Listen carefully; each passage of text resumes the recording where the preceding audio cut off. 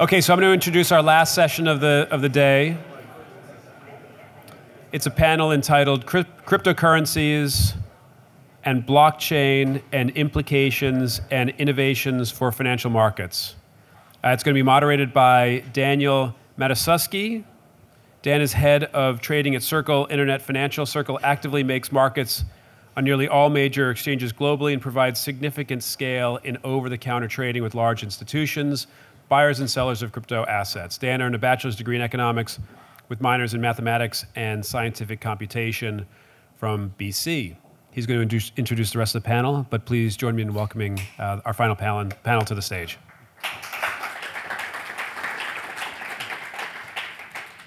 Yeah, and thanks for having me. Um, I was just saying real brief that it's it's crazy that this is even like a panel. This is even like a thing. This is like real world sort of like talking points at this point. So we've come a long way. Um, at least sort of it feels for me.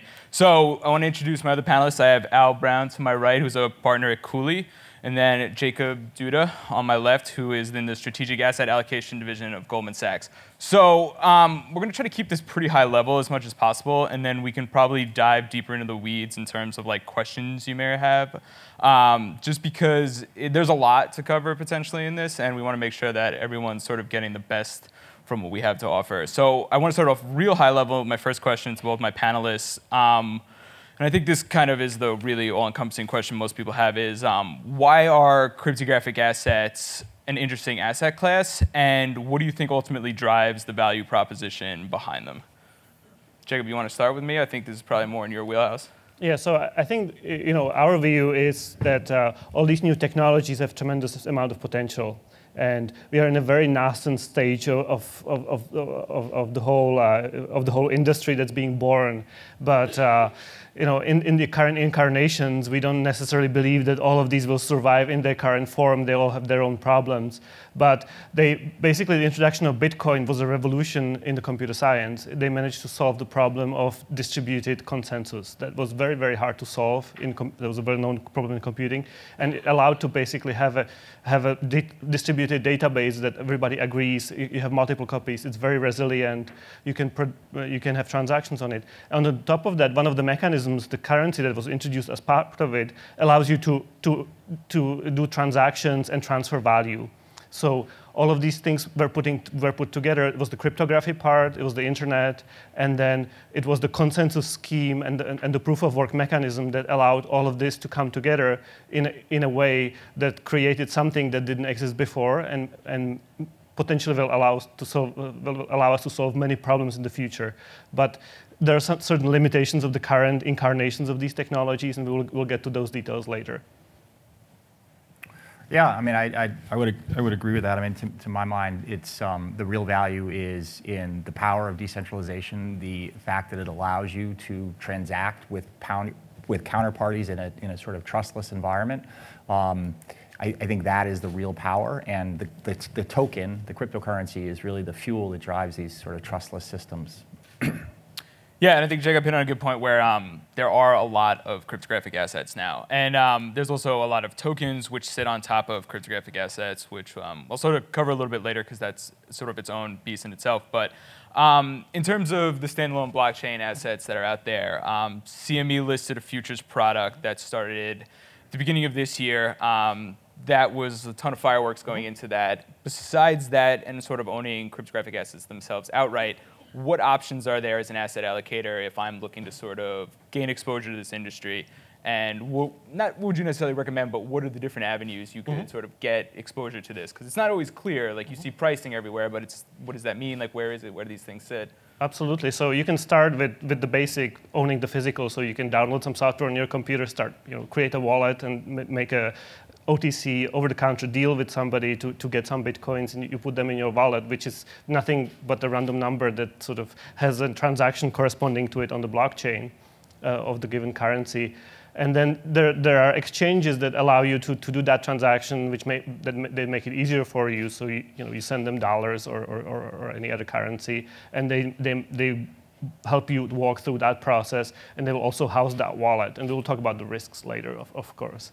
And then finally, we've seen uh, uh, more ma maturing of the markets, and so th there are derivatives being available on, on, on, on, these, on these cryptocurrencies. Similarly to we, we see derivatives uh, on, on traditional fiat, fiat currencies.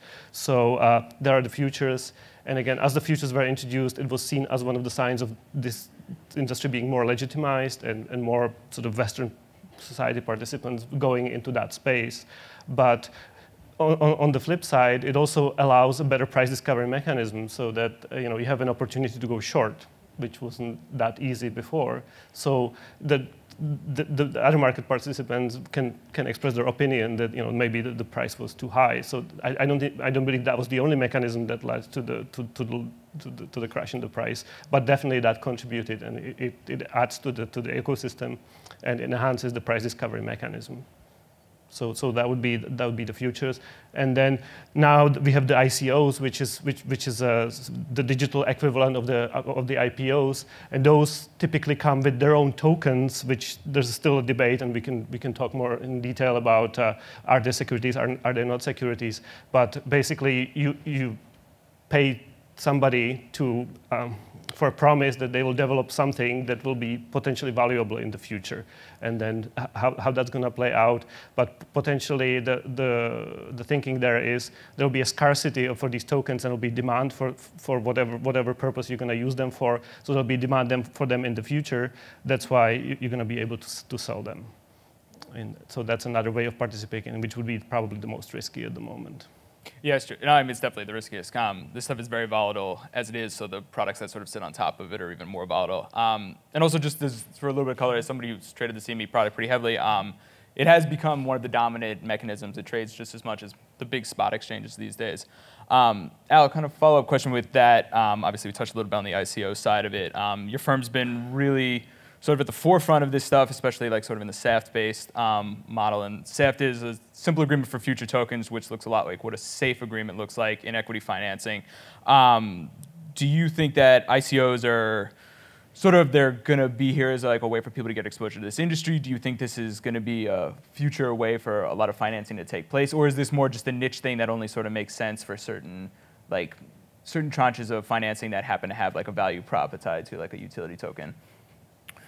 Um, it's really hard to know where things are going to go. I can tell you that the volume and the activity in the first quarter is up over 2017, and 2017 was a record year, so people are still raising billions of dollars via some form of purchase agreement to sell tokens. Um, a lot of the activity is outside the US, and there are outside the US regimes that have um, regulatory schemes that are much more certain um, and define something called a utility token um, that's designed to have a consumptive use. I think a lot of the activity we see is, I mean, particularly with new issues of tokens or new issues of projects, um, are, they are outside the US. Um, that said, because the exchanges are so uh, robust, um, there's opportunity for US investors to participate. Where it gets hard is, um, you know, should these things be limited to accredited investors? To, to the extent um, trading in this asset class is limited to accredited investors, that really limits the utility of the asset because in many cases it's about broad adoption and network effects and really getting to the point where frankly, a lot of people can use them and, and, and hold them for whatever the purpose is, if it's distributed storage or, or whatever the application is, or you know, payment. Gotcha. Um, so a little color sort of like this. This seems a lot more structured, and it is, um, and like sort of where we are, and like in SAFTs, and how things sort of look a little bit more like traditional financing. There was a period where the ICO sort of boom started, where they would just put an address on a website, and they would like say go, and everyone would just send money at it. And they were raising 50, 100 million dollars in a clip. So like, that was, I think, what people were like, all right, something's here, and it's like sort of started to evolve. But um, there's clearly a lot of not to say retail, but there's smaller player, non-accredited money that's like looking to get access to these things. Yeah, I mean that's so. that's how the SAFT came about, really. Um, you know, this this this um, industry of selling digital assets goes back to 2013, 2014, Mastercoin being the one that's the, sort of known as the first, but Ethereum was sort of right after that in 2014. Um, and from 2014 to 2017, you had promoters raise billions of dollars based on the sale of tokens, and in many ways, by exactly as you said, putting up a website address and issuing, in many cases, Ethereum-based ERC20 tokens that were easy to generate and in some cases had no functional utility. I think when, when, when we started to talk to companies about this, particularly the companies that wanted to do this in as compliant and as above board way as possible, um, we felt that digital assets are different than shares of stock. Um, and there's an argument that if you have a digital asset that has a consumptive use on a network, it really shouldn't be subject to securities laws regulation. Um, and that was the premise on which many of these tokens traded for a long period of time. But I guess from, from our perspective, as we counseled clients about it, you know, it's safer, particularly in the early stages before you get to a point where you have a robust network that's working to treat the issuance as if it were a security, and that's sort of where we came to this SAFT, and the idea that really the only people that should participate, particularly in the early stages of the project, would be accredited investors. Um, I think when the SEC and the SEC was largely silent in this space until uh, July of 2017, um, and then they, they came out and suggested that certain types of tokens really should be treated as a security. The, the enforcement action is, is the DAO enforcement action. And there were a bunch of things about the DAO that were unique. Um, first and foremost, the token itself had characteristics that looked like a lot like a share of stock. It gave people the right to vote. You got cash flows based on a return of investment. So it looked, the characteristics of that token looked a lot more like a share of stock than some of the other consumptive use tokens. Um, so the industry sort of digested that and said, well, we, you know, we better be careful, particularly for those tokens that have securities-like characteristics. But then I think in the fall of 2017, as you got into Christmas time, and particularly after that, you know, now infamous Thanksgiving where everybody went out and bought Bitcoin, um, the SEC really took a more aggressive tack and said, we think almost all these altcoins or digital tokens are um, are securities. And in fact, in the context of, of Bitcoin, suggested for a time that it might be a security. They have recently sort of backed off that notion relative to Bitcoin, at least. But there's still a pretty healthy debate as to whether Ripple should be a security or Ether should be a security. Um, and so the industry is sort of struggling with at what point do you have a token that is something other than a security? And the advice from most lawyers in the US right now is no point. I mean, you, if you're going to be conservative about this, you should treat that token as a security. The, the issue with that is um, if you treat it as a security, if it's held by more than 2,000 people, you need to report as a public company. You need to mm, do SOX internal controls compliance. You need to file 8Ks, 10Qs.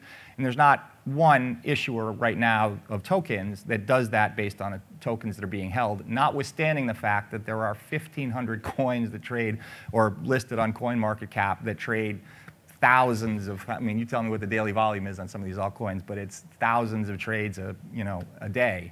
So um, it really is a difficult regulatory environment right now in the US. Um, I think most of the market participants are, are hoping for a little more clarity. Um, but it's based on the current trajectory, I think unlikely other than I think we'll continue to hear that every, every token in the US that's issued by a promoter of a distributed ledger network is, is a security. Yeah, um, that's I mean that's the big overhang in the market right now. I mean you've seen since, if, or if you've looked at least since the end of the year, there's been pretty much a kind of gradual decline in a lot of the asset base, um, particularly like in ETH, which is where a lot of these tokens sit on top. And yeah, the regulatory clarity is like a big concern on that. Um, I guess piggyback on like this, this stuff is volatile, right? Like it does go down. Like what are the other big risks you guys see out there, especially on the market side? Yeah, I think the volatility, uh, going back to the cryptocurrencies themselves, if you look at the volatility of Bitcoin, for example, it's something like 100% annualized. To put it into context, some of the most volatile uh, emerging market currencies have 20% annualized volatility and lower. So the volatility is, is, is absolutely mind-boggling. So th there's no clear price discovery mechanism. It's very hard to say what the fundamentals are. The other interesting thing is if you look at the, the whole spectrum of the currencies, uh, the larger ones, they seem to have traded on their own, but more recently, I think everything started moving together. So it, it looks like each of them doesn't have their own fundamentals. It's more treated, treated as, as, as, one complex, at least in the, in the last few months, I would say, like half a, half a year since, since we have seen the bubble bubble that happened at the end of the last year deflate in, in Bitcoin. Yeah, something that's worth noting is um, besides like Bitcoin, Ethereum, Ripple, some of the bigger ones, um, most of these other 1,500 that Al sort of meant, like the base currency they trade against is Bitcoin. So that's sort of baked into the mechanics of like the pricing on this stuff at any given point. Um, that's something I think people don't always like realize is that these things don't really like they sort of only exist in code, like they only exist against like other cryptographic assets, which can make it complicated. Um, something else I wanted to ask you, Al, is um, a lot of the exchanges, particularly Coinbase, they just bought a BD. Um, they've been talking about potentially buying an ATS. Do you think that that's the model of the future for the exchanges currently, or is that not even necessary enough clarity considering the SEC hasn't said this will give you the ability to do this? Yeah, I mean, I think the SEC continues to struggle with um, the circumstances under which they feel comfortable with retail investors in this asset class. Um, and that manifests itself in a, in a bunch of ways. A as it relates to the exchanges, um, I think there continues to be a concern. So in order to trade securities or act as an exchange in, in securities in the United States, there's a, there are a bunch of regulations that apply. The, the, the first is if you're buying and selling uh, securities on the behalf of others, you need to register as a broker-dealer. That's a federal regis uh, registration requirement and a state registration requirement.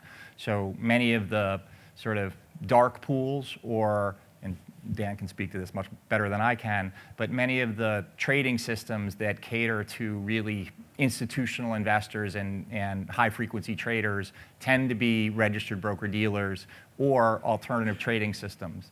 And alternative trading systems are basically like an exchange, but they're not an exchange. They're um, not registered as an exchange under the federal securities laws. And there is this concept of registered exchanges. There are very few. When you think of registered exchanges, you think NASDAQ, um, you think New York Stock Exchange. But the alternative exchanges or these alternative platforms that are really sort of sprung up from not trading crypto assets or any kind of digital assets, but were largely for institutional traders that trade big blocks of stock.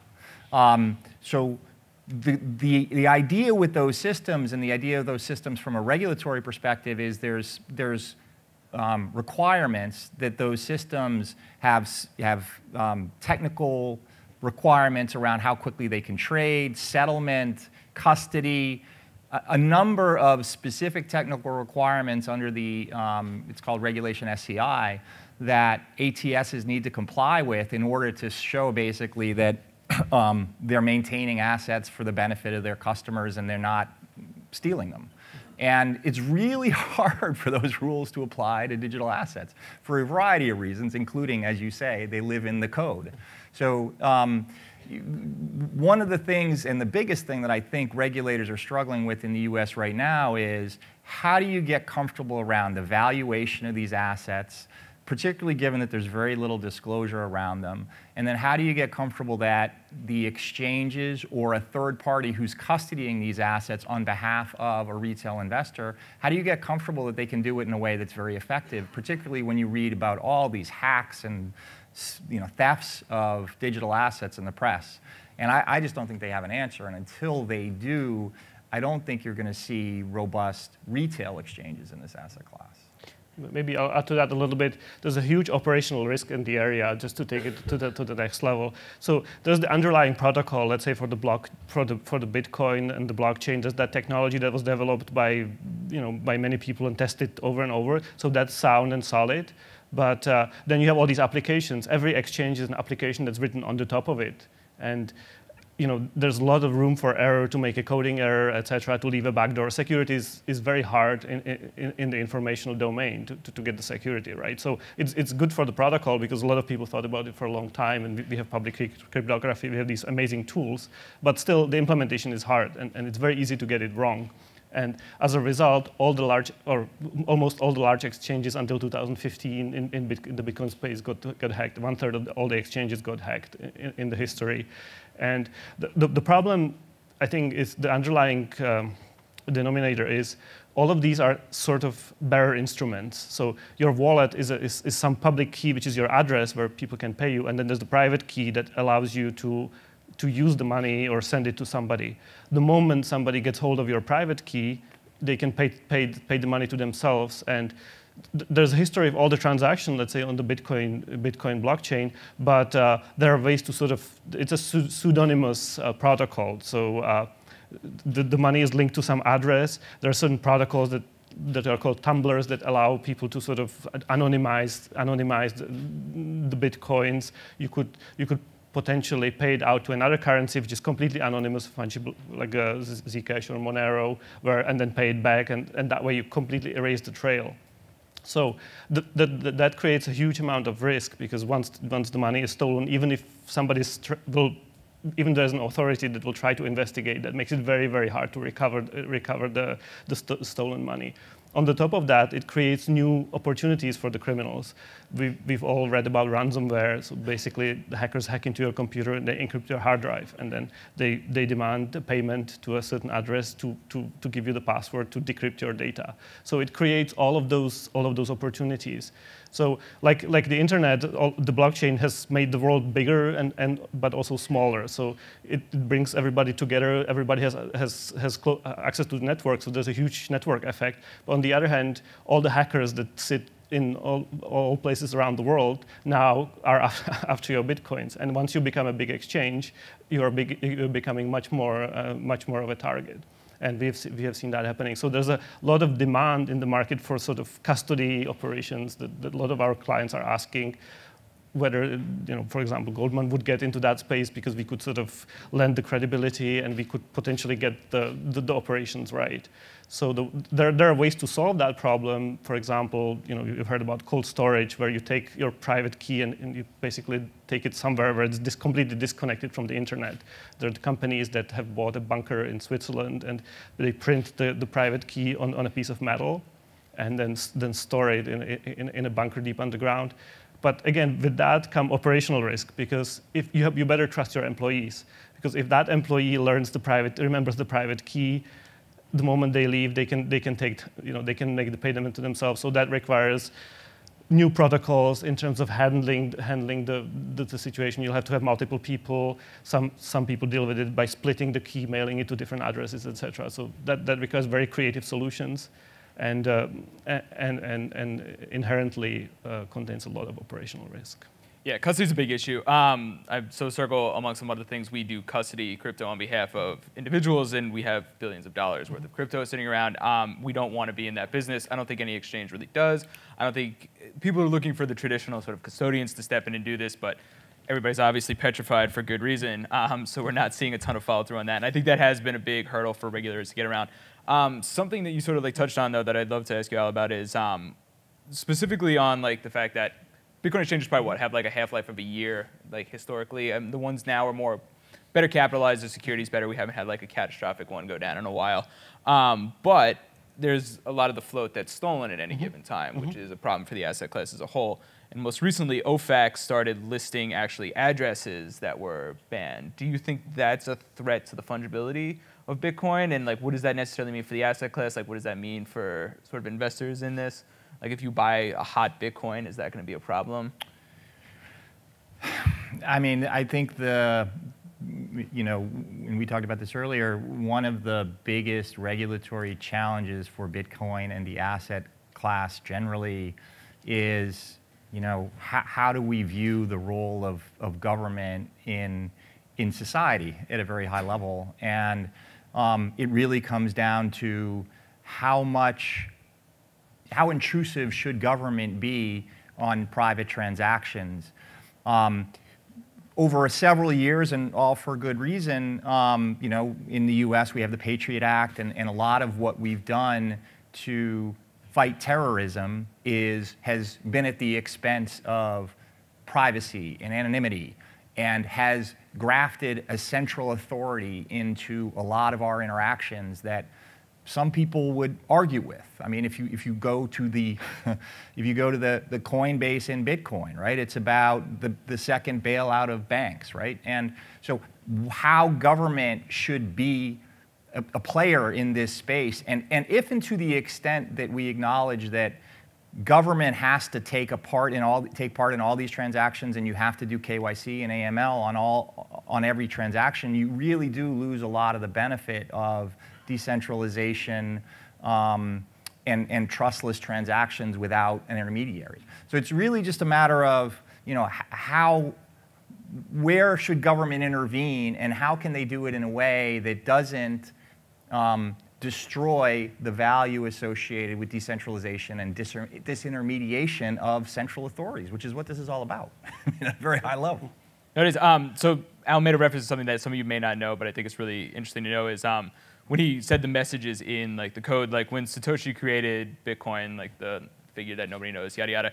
The he ripped the headline from I think it was a UK newspaper at the time that said I think it's like UK Chancellor on the brink of second bailout, and he just put that message cryptographically inside like the first blocks and like kicked it off. So it was very much in the ethos of like what Bitcoin was trying to be.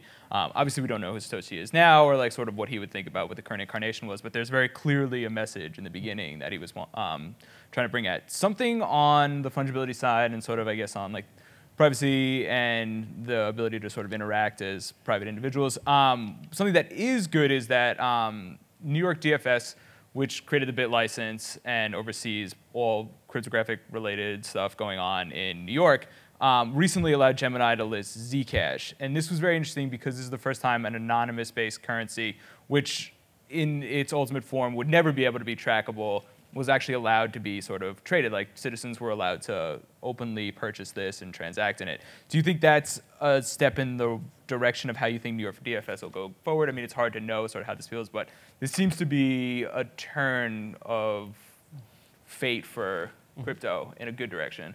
Uh, I, will, I will answer it, I think, uh, in, in, in a circumscribed way. But uh, basically, I think currently those anonymous currencies are not big enough yet. So they're not really a big problem. So I think the focus of the government and all of those institutions is really on Bitcoin and, and Ether.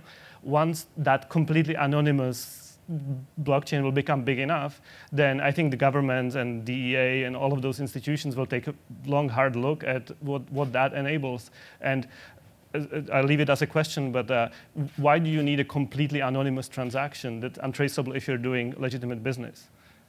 uh, uh,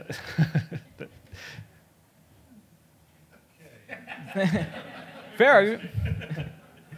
No, no. They, I mean, that, that tends to be the argument that we've heard from regulators on that. That's not like completely sort of from left field. Um, no, that, that makes a lot of sense. And I, it's tough, right? Because there's a lot of people who say that privacy is just an inherent human right, and it's the, the counter argument is, well, why don't I have the ability to do it? But I get. I mean, it, it's it's who has access to the information and how they use it, right? And so it, it's one thing to say, you know, perhaps the federal government should have access to information so they can ensure there's no money laundering going on. It's another to say Facebook should have access to every transaction that you make, or that Amazon should be able to see everything you do, or um, a big bank should be able to audit every transaction you have and where it goes. Because you know, it's a matter of how much do you trust Bank of America, right? And so that's the, the question we need to answer as a society. And I'm not saying there's a right answer or a wrong answer, but it's not as simple as, hey, you know, everybody should be able to audit everything you do in the world, because I, I just think that overstates it.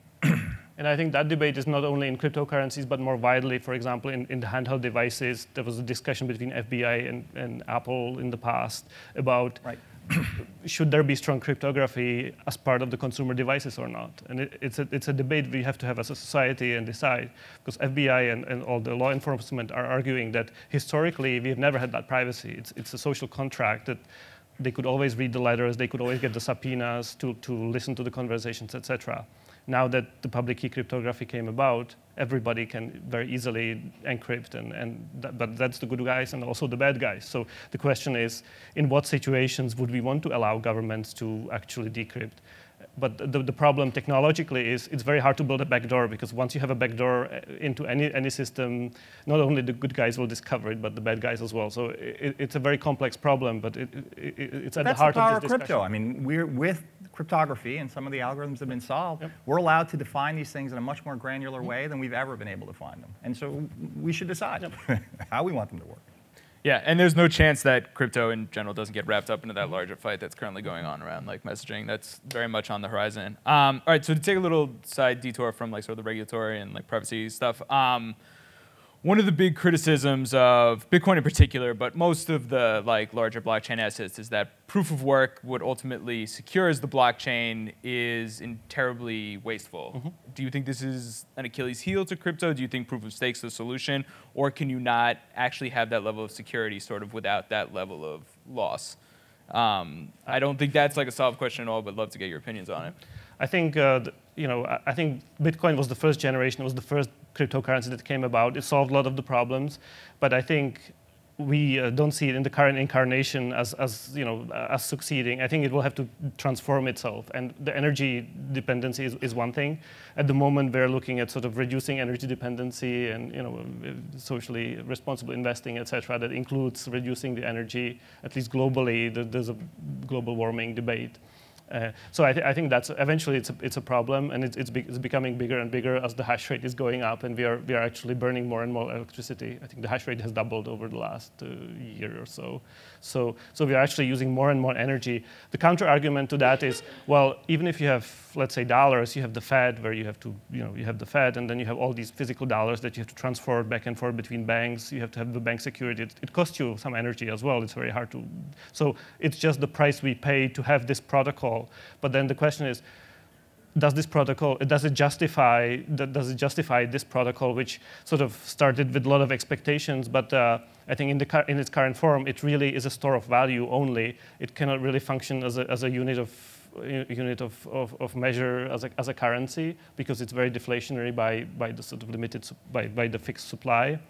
And uh, and uh, it, it's not a good payment system at the moment because the, you know, the transactions are relatively expensive and, uh, and the, the, capacity is very, very limited. The capacity of the Bitcoin blockchain is only about seven, seven per second or, or something like that compared to thousands of, of the payment companies, etc. So I think in, in its current form, something will have to give. Either we go to, and th there are solutions to that problem. Either we build something around it and, and we, we, somehow figure out a way to make it less energy uh, demanding, or in Ether, what they're trying to do is try to go to proof of stake instead, where you still have some amount of mining, but uh, who mines is determined by, by, by, by the size of your, uh, of, your uh, of the amount of ether, ether, you own. Again, the counter argument is that's not democratic because basically the big players kind of get to call the shots. So, so that has its own problems, but I think, I think that's becoming increasingly a bigger, bigger issue in, in, for, for Bitcoin especially.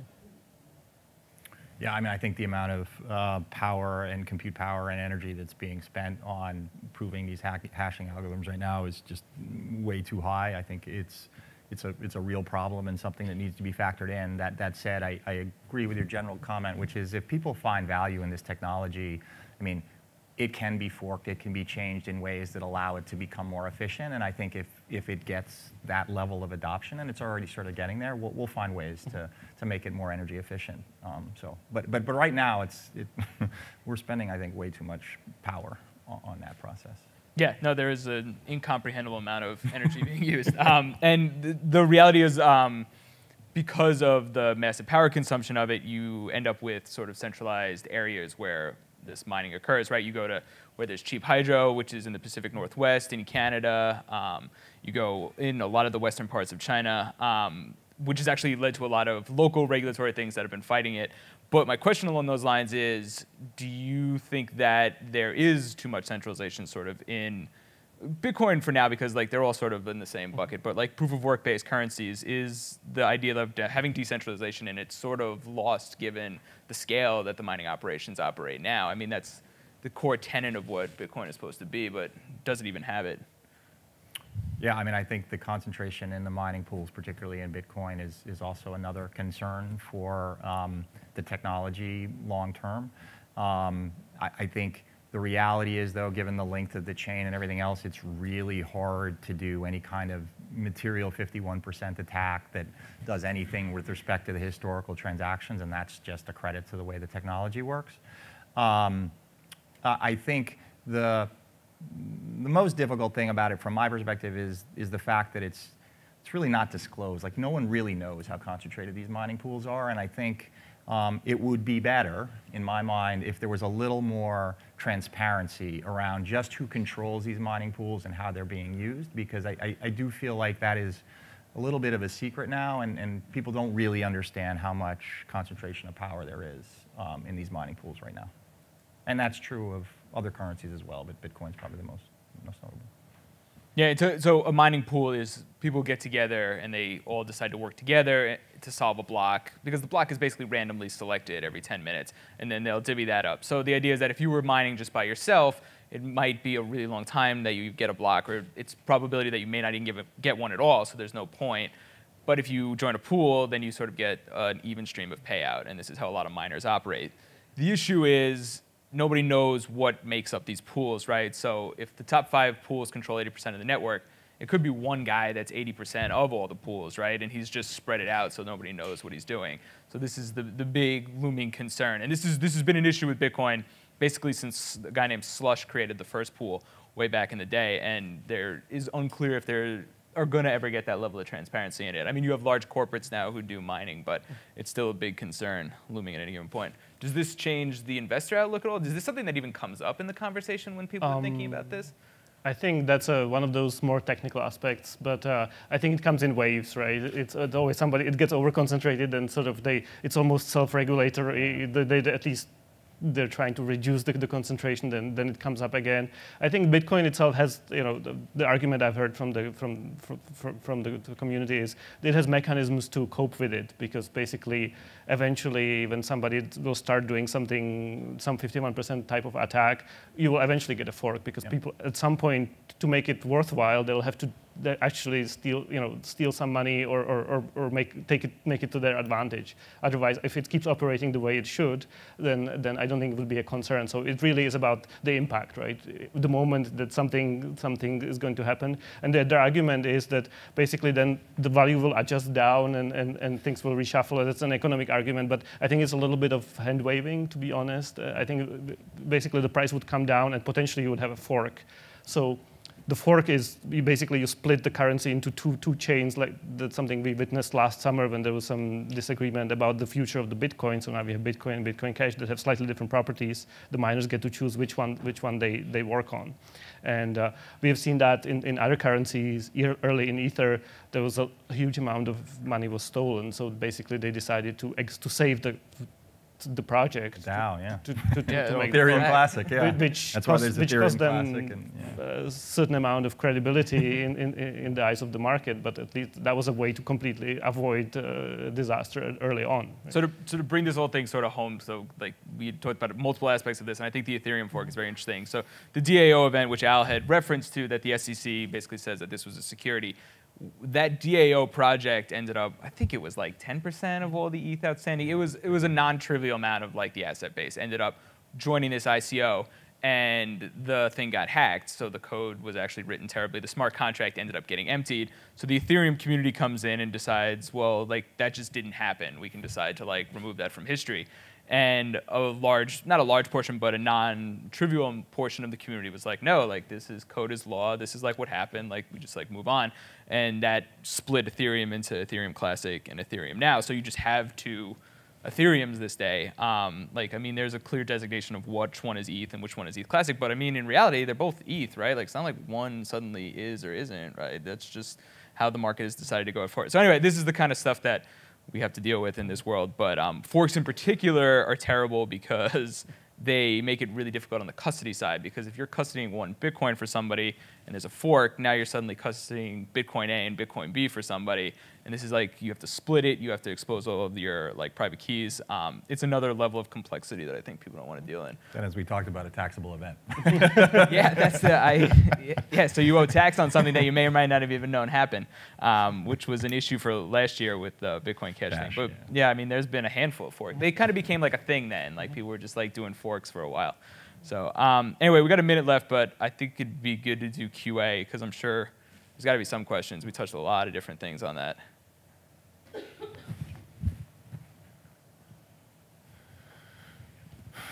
Uh, so just a quick update. As of this morning, Coinbase did actually acquire a ATS and registered investment advisor.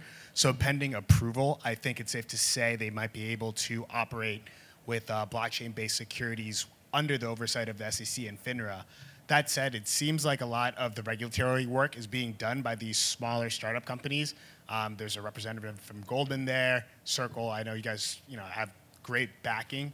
Um, as much as you guys are working on advising your clients, what influence do you guys have on the regulators to help folks understand everything you just said? Because I know folks in this room are already confused. And if anyone watched like the Zuckerberg trial, those questions being asked, if that's too much for our legislators, I can imagine this conversation is equally daunting. Yeah, um, I'll take that one as the lawyer, although these guys may be a little bit closer to it. Um, it's a real challenge. I, I think um, one of the issues with the way the SEC has approached this is that it, it, most of the discussions that are being had right now are with their enforcement division and not their division of corporation finance, and in many cases, not even the division of trading and markets, which is the right one that would handle, in most cases, the exchanges. Um, and I think that's unfortunate um, because the, the people in those areas, while uh, very well intentioned, come at the world from more of a, well, a, a less tech heavy focus. And, and so I, I think it is really difficult to um, educate. And part of what we do, well, most of what we do when we interact with regulators, whether it's the SEC, the CFTC, Congress is it's an educational process, um, and you know some of it's just not that intuitive um, unless you really take the time to download some code or a you know decentralized exchange and see how it works and try to trade some tokens on Poloniex and um, Circle.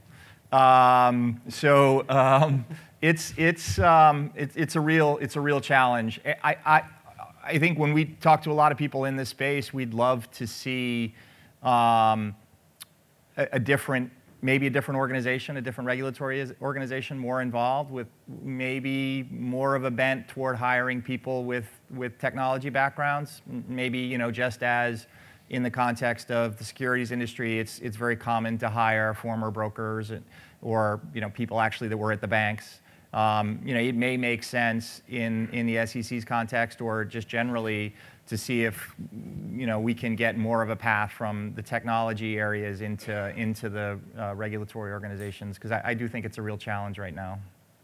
Yeah, and, and to touch on it's, it's a challenge in the sense that because this stuff doesn't clearly fall into one wheelhouse, it falls into all the wheelhouses, right? So like there was a point in time where the SEC, FinCEN, CFTC and all the state level money transmission like groups were all saying that Bitcoin was like sort of theirs to police. And the issue is it's not possible, right? Like you can't have, you can't, we'll never be able to deal with all these regulators, especially ones that may or may not have like differing levels of opinion or knowledge even on the thing. And you're seeing this issue now sort of, Bitcoin got through it, CFTC clearly got it, but all everything else is still going through this issue right now. And it's much more confusing because the asset base exploded and you don't suddenly have like, not that there weren't other currencies around there, but Bitcoin was kind of like the only game in town. But now you've got five or 10 that are have 100 million to billion dollar valuations out there and like real money sort of floating around it. It's, I don't know, it'd be great if there were one sort of federal group that really had the control of it, but at this point it's the worst of all worlds and we're sitting in this unknown period. It's, it's a tough conversation. Also, just having the BD and the ATS, it doesn't really help for the stuff that's already happened, right? Because those are technically then all illegal security offerings that happened, even though you may be saying they're securities now. So you don't suddenly just get to offer them as products on the exchange to trade. So like, what do you do with all the stuff that you got to grandfather in? Like, there's no discussion of that right now that I know of. And you just named the U.S. regulators, and there's a lot there but this is an international phenomenon. I mean, it, it just is. And um, so you're dealing not only with the US regulators, but regulators in China, regula regulators in Switzerland, regulators in Malta, Cayman, I mean, any number of jurisdictions. And in a lot of ways, because of the technology and what it enables, there is a little bit of a lowest common denominator approach of, on this thing. And, and I think the, the people that want to promote these projects end up moving toward the jurisdictions that are most friendly, maybe not the most knowledgeable. And, that, and that's a problem. You know, it'd probably be better if they were to go to the ones that are the most knowledgeable and there was a framework that made sense for this asset class. And I would add there's a huge dispersion in, in terms of how the reg different regulators treat, treat Bitcoin. So it's, it's an asset in Switzerland, it's a financial instrument in Russia, but not an asset. It's, it's banned in China currently uh, for all practical purposes. All the ICOs were banned in China. So you know, there's some common denominator comes with the properties, but then the, the treatment across the world it, it varies very, very, very widely. And you know the kicker to all this is? Nothing makes you appreciate Bitcoin more than having to deal with all this. Like that's like the God's honest truth is like you start seeing how actually awesome it is to be able to just sort of move like value as you want and not sort of have to answer, even though like you really do, right? Like I mean, you're still subject to it, but like the fact that you have this whole world of regulators all saying different things about it, and you're like, well, I can still transact if I want. There's nothing to stop it.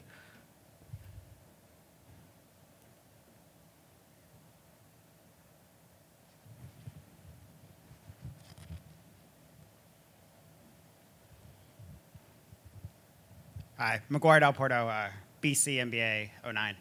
Um, there was a lot of talk in 2015-ish about blockchain and the implications of uh, verification of securities transaction and eliminating kind of the clearing of T plus one, T plus three days. Um, what, you know, what happened to that? Why haven't we seen T plus 10 minutes, T plus five seconds? Yeah, it's a great question. You're probably familiar with, with Overstock and the, the most widely known exchange is called T0, right? So yeah, th that was the goal, hit, hit T0. Um, I, I think um, there's probably a lot of reasons. I think one cynical argument would be the establishment didn't really want people to change the way settlement works. Um, but I, I, think there are legitimate issues around storage and custody and technical issues around this asset class that people feel uncomfortable having large amounts of money, subject to um, the potential issues around hacks and again, you know, not to bring up custody again, but I, I think all those issues have made it, um, have really slowed adoption. And then of course there's a regulatory issue. Um, we, uh, I'm a lawyer, so we, um, you know, one of the earlier applications was supposed to be in Delaware. Um, Delaware adopted a sort of blockchain amendments to the Delaware Code that would allow companies to issue their certificates on a distributed ledger, which really holds great promise because if you know anything about the way proxy contests work now or tender offers work now, it's, it's complete mess. Um, it's really hard to track who the owner of the shares is and, is and who gets to vote. And so the promise was if you put that on a distributed ledger, it would be verifiable in ways that was very valuable. And, and again, that's another area where it just, it's been really hard to get adoption. Part of it is the technology isn't actually that easy to build um, if you're talking about an application on, on um, either an existing blockchain or a new blockchain. You need to set up nodes, and then a lot of this is about network effects and building adoption. And it's really hard to build adoption across a large group of people because everybody's got different motivations. It costs money to set up a node. It, it's just, um, it's hard. I would I would add to that. So we started in 2016, 15, looking into blockchain because everybody was was was enthusiastic about blockchain, all the potential, all the opportunities. And then 2017, the price exploded, so everybody was worried about the, the, cryptocurrencies. Now it's going back to the blockchain. But I think the Australian Stock Exchange has a pilot project where they're trying to move to a settlement system that's based on blockchain type technology. I think they call it CHESS. So that would be a great uh, first project, I think, to, to see if, if, if, this technology is viable. And uh, potentially, there'll, there'll be other opportunities. I think it just points to the fact that we are in a very sort of early stage of this technology being adopted and all the details hashed out. It, it's very difficult to actually make it work. Like Implementing implement, it implementation yeah. is, is, difficult. And there's that operational risk that we already talked about, to get the cryptography right, to make sure that things are as secure as you expect them to be or as you, as you intended them to be. Yeah, I mean, you heard about it in 2015. You're starting to see it kind of land, right? Axoni finally just put something out where they're starting to actually trade stuff through. I think they're doing, they got some form of structured product deal, and I think like State Street's trying it out to start. But like, those things are landing now, right? So you heard the rah rah, we can like solve this problem, and then they sort of been building it quietly the last couple of years. The thing though about like a lot of those like blockchain implementations for like settlement is like they're actually like centralized systems most of the time. They're not really like sitting on public cryptographic like like networks. Um, like they ended up because it just makes sense for a bunch of trusted FIs to just use a centralized system anyway because they all trust each other. Like it's the agreements they're just like moving around are sort of implicit on that trust anyway. But I- I'll, I'll bet, I'll bet 10, 15 years from now, we will be settling things using cryptographic techniques and probably some form of distributed ledger technology that's verifiable. In a lot of ways, this is like the internet, right? I mean, there was a lot of hype in 1993, 1994 about, you know, what you'd be able to do, and it took another 10 or 15 years. So it just, it takes a, it's a lot harder to do than people think. it just takes time.